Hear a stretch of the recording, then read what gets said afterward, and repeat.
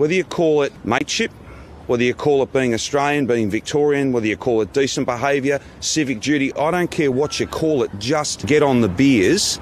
That's your civic duty. That's what's most important, and that's what must be done.